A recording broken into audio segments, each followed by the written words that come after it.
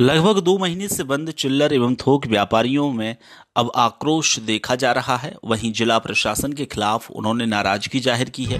Monopoly के चलते यह प्रदर्शन किया गया है। समस्त चिल्लर एवं थोक व्यापारियों के द्वारा बंद का आह्वान किया गया था। इसी कड़ी में चैम्बर ऑफ़ कॉमर्स के जिलाध्यक्ष अभय सेठिया ने बताया कि जिस प्रकार कोरोना संक्रमण के समय हमारे व्यापारियों ने कोरोना योद्धा की तरह समस्त बालाघाट ज़िले की जनता को घर बैठे राशन, सब्ज़ी या अन्य सामग्री पहुंचाई थी।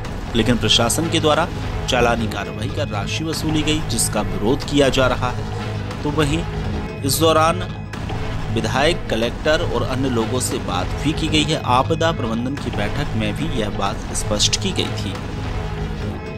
आपका परिचय?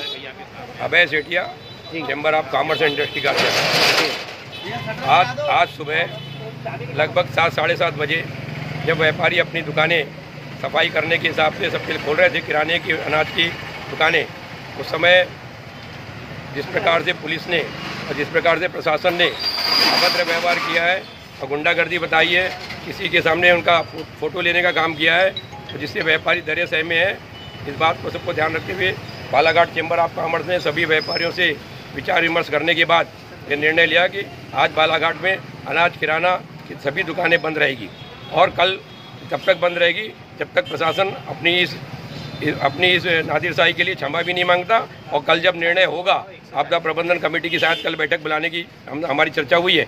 इसकी चर्चा मैंने कलेक्टर महोदय से भी किया। अपना ज़िले के मंत्री, मध्य प्रदेश शासन के मंत्री राम किशोर कावरे से भी बात हुई और बालाघाट के विधायक गौरीशंकर बिसेन जी से भी बात हुई और उनसे सबसे बात होने के बाद और कल इन, कल इसका निर्णय हुआ। कल कल शायद हमने सबसे मांग भी की है कि इस समय सारे व्यापारी लगभग डेढ़ पौने दो महीने से बंद है।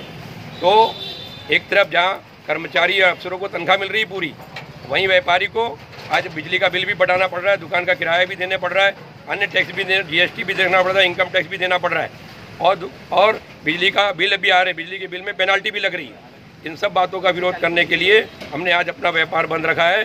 कल से, कल कल जब जिला प्रशासन के साथ आपदा प्रबंधन कमेटी की बैठक होगी, उस बैठक में निर्णय होने के बाद पुनः फिर व्यापारी अपना निर्णय लेंगे कि दुकान हमको कब से प्रारंभ करना है। व्यापारी इस समय फ्रंट फ्रंट लाइन वारियर्स बोलते हैं जिनको, वैसे काम कर रहे हैं। किराने के व्यापारी हो, अनाज के व्यापारी हो, फल के व्यापारी हो, सब्ज़ी के व्यापारी हो, अपनी जान में जोखिम डालकर वो अब पूरी रसद पानी पहुँचाने का काम कर रहे हैं। उनके साथ यदि गलत व्यवहार होगा तो चैम्बर ऑफ़ कॉमर्स आज इस नगर को बंद करने जा रहा है। कल पूरा जिला बंद होगा और आने वाले समय में पूरा प्रदेश भी बंद हो सकता है।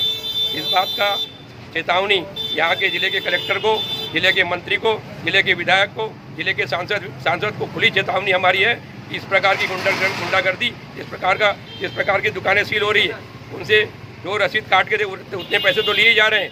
साथ में उनसे हज़ार हज़ार रुपया, पाँच सौ रुपया रोज़ का एक लाख, दो लाख रुपए कमाने का काम ये कम कर रहे हैं। एक तरफ़ व्यापारी की दुकान बंद है, उनकी कमर टूटी हुई है, उनको, उनके बाल बच्चों की स्थिति खराब है बच्चों की फ़ीस देना पड़ रहा है। सब काम होने के बाद भी व्यापारी आज सबसे ज़्यादा आपदा प्रबंधन कमेटी में, चाहे वो महावीर इंटरनेशनल के नाम से हो, या श्रीराम प्राणवायु के नाम से हो, आज व्यापारी लाखों करोड़ों रुपए लगाकर इस इस ज़िले की जनता को बचाने का काम कर रहा है। उनके साथ इस प्रकार का व्यवहार होगा तो निश्चित रूप से आने वाले समय में उसका मुँह तोड़ जवाब प्रशासन को मिलेगा।